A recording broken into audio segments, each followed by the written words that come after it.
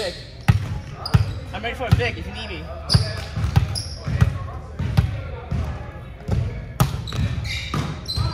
Okay.